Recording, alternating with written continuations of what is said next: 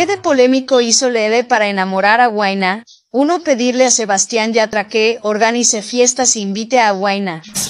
Me obsesioné llamo a Sebastián Yatra y digo, Sebastián, yo quiero que tú hagas fiestas en tu casa privadas y lo invite a él.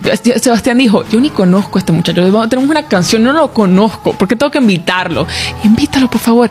Y ahí cuando lo invitaba, hacían el juego de Truth or Dare, el reto, y, le decía a todo el mundo, le mandaba un texto, no lo reten con nadie en esta fiesta, solamente conmigo, que me bese y que me toque lo que sea el reto, ¿ok? Dos, tener una relación cercana con el papá de Guayna. Lo llevé a New York y yo dije, yo no voy a, estar con Guayna, yo voy a tener una relación con el papá. Entonces que el papá me cae súper bien, menos mal. de verdad, súper buena persona, lo amo. Y ahí estuvimos hablando y todo así con el papá y, me, me hice muy cercana al papá. Entonces yo dije, mira, me esté yendo bien con su familia, que lo vea también.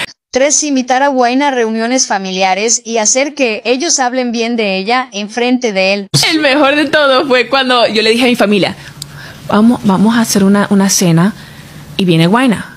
Todo el mundo busquen, agarren sus celulares que yo le mandé todo lo que tiene que decirle a Guaina. y mi tío y Chayanne también ahí.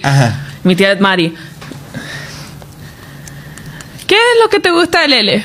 Así, así, así. Todos, todos tenían algo ahí. Y Guayna decía, wow, de verdad, tu familia me, me quiere mucho. Y dije, y yo,